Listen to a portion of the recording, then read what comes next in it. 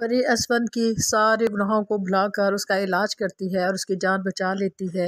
लेकिन जैसा बेटा, वैसा ही बाप।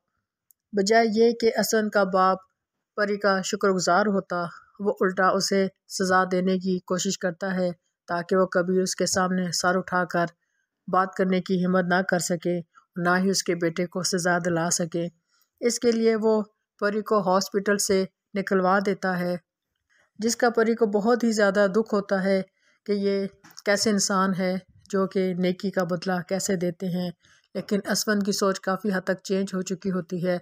वो देख लेता है कि वो एक गरीब डॉक्टर होने के बावजूद एक बहुत ही अच्छी इंसान है। अगर वो चाहती उसे बदला ले सकती थी उससे जान से मार सकती थी, लेकिन वो उसे जान से क्या मारती, वो तो उसकी जान बचाकर उसके ऊपर एक और एहसान कर देती है।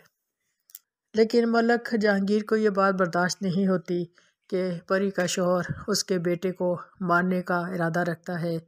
वो तो अपने बेटे का बाल भी बेकार होना नहीं चाहता था। परी जब हॉस्पिटल के चांसलर के पास जाती है और उसे कहती है, उसे नौकरी से क्यों निकाला?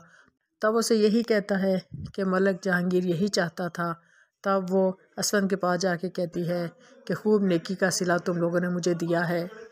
लेकिन जब यही बात परी आकर हमज़ा को बताती है तो उसे यही कहता है, और नेकी करो। ऐसे लोगों के साथ नेकी करके उसका मज़ा देख लिया है।